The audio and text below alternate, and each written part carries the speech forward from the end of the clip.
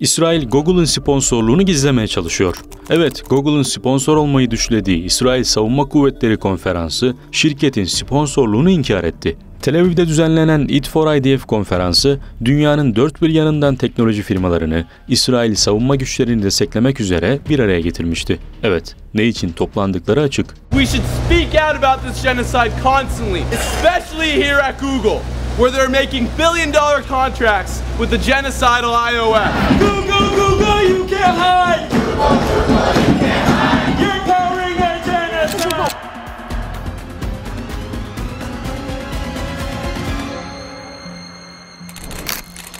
Yılda sahnede savaş suçluları Nakba, 1967 Arap-İsrail Savaşı, Gazze'deki mevcut savaş ve önümüzdeki yıllarda yaşanabilecek diğer savaşlar arasında bağlantı kuran sunumlar yaptı. Yaptığı eylem çağrıları ise büyük ekranlara yansıtıldı. Her nesil ve kendi sırası bu bizim zamanımız. Ancak son iki yıldır en önemli sponsorlardan olan şirket dikkat çekici bir şekilde konferansa günler kala ortadan kayboldu ya da üzeri karalandı diyelim. Ne Google ne de konferansın organizatörü People and Computers, boyanın altında kimin logosunun bulunduğu sorusuna elbette ki yanıt vermedi. Dolayısıyla konferansta yer almasa bile Google, kendisini uzak tutmaya çalıştığı bir savaşın kavuşturulmasına adanmış bir etkinliğe damgasını vurdu.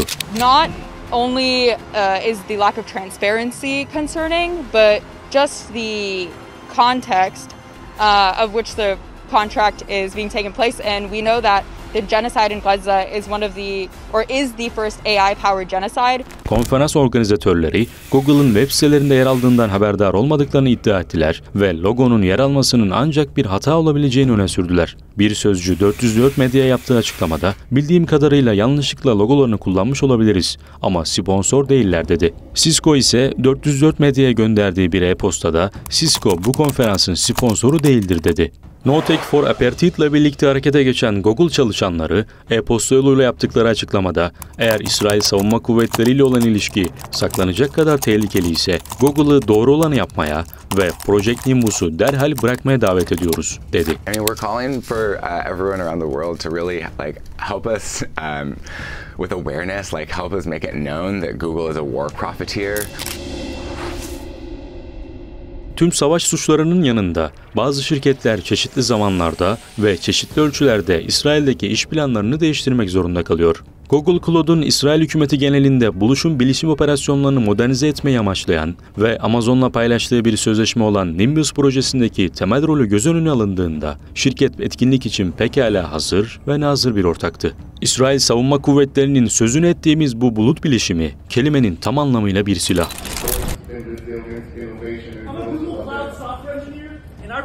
To build technology that powers genocide? Or surveillance.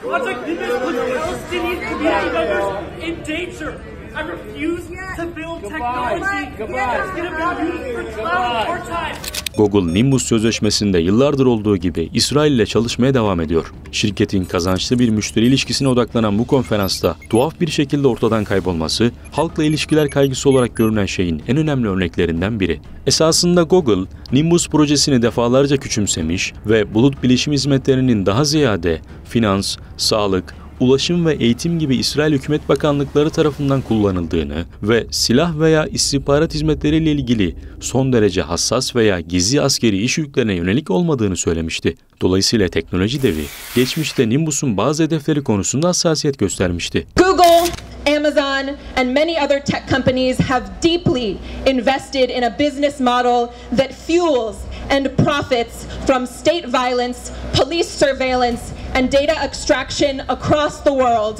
Böylelikle proje uluslararası eleştirilere maruz kalmış ve Nisan ayında sözleşmeyi protesto ettikleri için 50'den fazlası işten çıkarılan Google çalışanlar arasında bir muhalefet kampanyasına yol açmıştı. İsrail hükümeti Nimbus'un askeri boyutlarını vurgularken Google ısrarla İsrail'le yaptığı sözleşmenin askeri çalışmalarını açıkça reddetmeye çalıştı. Nimbus projesi 2021 yılında duyurulduğunda da İsrail Maliye Bakanlığı tarafından savunma kurumuna hizmet ettiği şeklinde lanse edilmişti. Nihayetinde Google'ın Nimbus projesinin doğası gereği barışçıl olduğu yönündeki ısrarı kamuya açık kayıtlarla çelişiyor. Tüm bunlara rağmen Google, Nimbus çalışmasını ya da bunun insani sonuçlarını basınla tartışmayı da rutin olarak reddediyor. Bu teknoloji devi şirket, cüssesiyle doğru orantıda korkaklıkla projeyle ilgili sorulara ya da projenin askeri niteliğiyle ilgili eleştirilere, Nimbus'un silah ya da istihbarat servisleriyle ilgili son derece hassas ya da gizli askeri iş yüklerine yönelik olmadığı şeklinde genel bir ifadeyle yanıt vererek konuyu kapatmış oldu. Google'un sponsorluğunu son dakikada bırakmaya mı karar verdiği yoksa basitçe gizleyip gizlemediği belirsiz. Ancak bu açıkça şirketin Gazze'deki savaştaki rolüne yönelik eleştirilerin ve incelemelerin arttığı bir zamana denk geldi. Pekala büyük şirketler ve markalar savaş suçlarına dahil hiçbir kanıt göremese de geriye kalan 6 milyon insan her şeyin farkında.